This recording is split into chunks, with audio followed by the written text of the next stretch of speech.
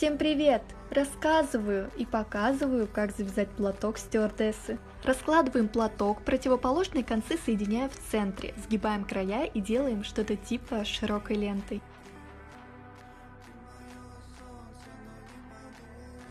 Завязываем платок, как пионерский галстук.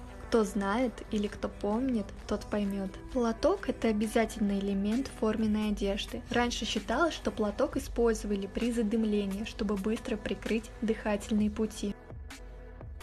Далее разворачиваем влево и длинный кончик продеваем внутрь и красиво расправляем.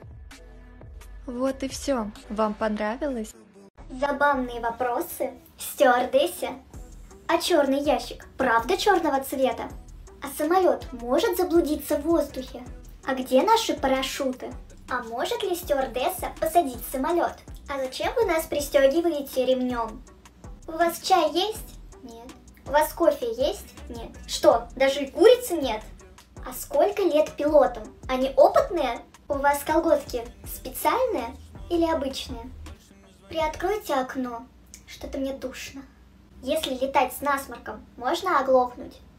Самые популярные вопросы стюардессе. Чтобы стать стюардессой, не нужно сдавать ЕГЭ. Главное это получить аттестат о среднем образовании. Вы можете сразу после 11 класса или после колледжа поступить в школу бортпроводников. Стюардесса обязательно должна знать английский и владеть уровнем не ниже intermediate. Есть два варианта, где выучиться на стюардессу. Первый способ – это пройти собеседование в авиакомпанию и учиться бесплатно. Второй способ – это поступить в школу бортпроводников и учиться платно.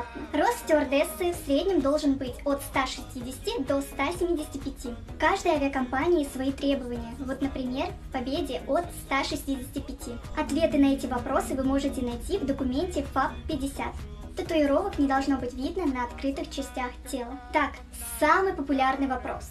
Зарплата стюардессы выше среднего, но все зависит от налета часов.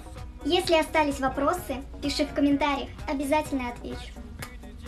Как стюардессы остаются красивыми после тяжелых рейсов, как, например, четверки сегодня? В комментариях меня часто спрашивают, как я ухаживаю за кожей. Раскрываю секрет. Вот он, мой домашний косметолог из Панадаму Фрео Луна. И как же я рада, что у меня есть волшебная щеточка от шведского бренда Луна. Одна сторона для очищения, а вторая для массажа. Отеки сразу проходят и возвращается здоровый румянец. Это и есть мой секрет, он всегда со мной и в командировках тоже.